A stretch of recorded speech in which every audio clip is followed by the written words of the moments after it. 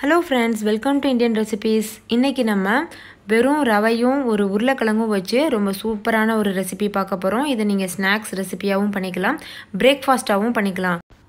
இது செய்கிறதும் ரொம்ப ரொம்ப ஈஸி தான். வெளியில் நல்ல கிறிஸ்பியாக உள்ளே நல்லா சாஃப்டாக சூப்பராக இருக்கும். ஸோ கண்டிப்பாக ட்ரை பண்ணி பாருங்கள் இந்த ரெசிபி பண்ணுறதுக்கு ஃபஸ்ட்டு ஒரு மிக்சிங் பவுல் எடுத்துக்கோங்க. அதில் ஒரு கப் அளவுக்கு ரவை சேர்த்துக்கோங்க. அடுத்தது ஒரு கப் அளவுக்கு தயிர் சேர்த்துக்கோங்க. ஒரு கப் ரவைக்கு ஒரு கப் தயிர் அதுதான் ரேஷியோ இப்போ இது எல்லாத்தையும் சேர்த்து நல்லா அந்த மாதிரி மிக்ஸ் பண்ணி விட்டுக்கோங்க. மிக்ஸ் பண்ணிவிட்டு ஒரு அரை மணி நேரம் இதை அப்படியே ஊற விட்டுருங்க. இப்போ பாருங்கள் அரை மணி நேரம் ஆயிடுச்சு. ரவை நல்லா சாஃப்ட் ஆயிடுச்சு பாருங்கள் அதுக்கப்புறமா இதில் ஒரு ஸ்பூன் அளவுக்கு இஞ்சி பூண்டு விழுது சேர்த்துக்கோங்க. அடுத்தது இதில் ஒரு பெரிய சைஸ் வெங்காயத்தை பொடியாக கட் பண்ணி வச்சுருக்கேன். கொஞ்சம் போல் கொத்தமல்லியை பொடியாக கட் பண்ணி வச்சுருக்கேன். அதுக்கப்புறமா நாலு பச்சை மிளகாயை பொடியாக நறுக்கி வச்சுருக்கேன்.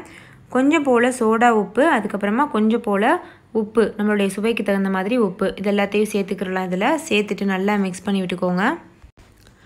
உப்பும் சோடா உப்பும் எல்லா இடத்துலையும் படுற மாதிரி நல்லா மிக்ஸ் பண்ணிக்கோங்க. நீங்கள் சோடா உப்பு போடாமல் கூட செய்யலாம். ஒன்றும் பிரச்சனை கிடையாது. பிசைஞ்சதுக்கு அப்புறமா இதில் ஒரு பெரிய சைஸ் உருளைக்கிழங்க வேக வச்சு தோல் உரித்து வச்சுருக்கேன். குக்கரில் நாலு விசில் விட்டு வேக வச்சுக்கோங்க.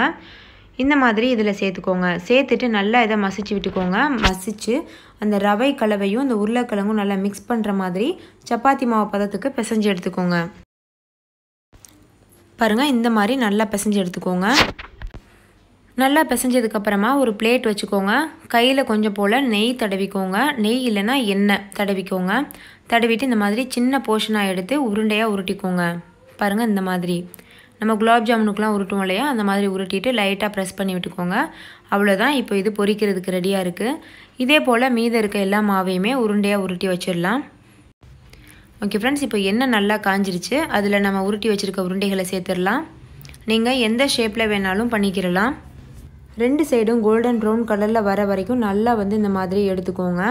பாருங்கள் எவ்வளோ சூப்பராக தயாராகிடுச்சின்னு பார்க்குறதுக்கு எவ்வளோ ஃபென்டாஸ்டிக்காக இருக்குது வெளியில் நல்ல முறுமுறுப்பாக இருக்கும் உள்ளே நல்லா சாஃப்டாக இருக்கும். ஸோ கண்டிப்பாக ட்ரை பண்ணி பாருங்கள் பாருங்கள் ஃப்ரெண்ட்ஸ் நம்மளுடைய எல்லா உருண்டைகளும் சூப்பராக தயாராகிடுச்சு நல்லா பார்க்குறதுக்கே கலர்ஃபுல்லாக இருக்குது சாப்பிட்றதுக்கும் அதே சமயத்தில் ரொம்ப டேஸ்ட்டாக இருக்கும்.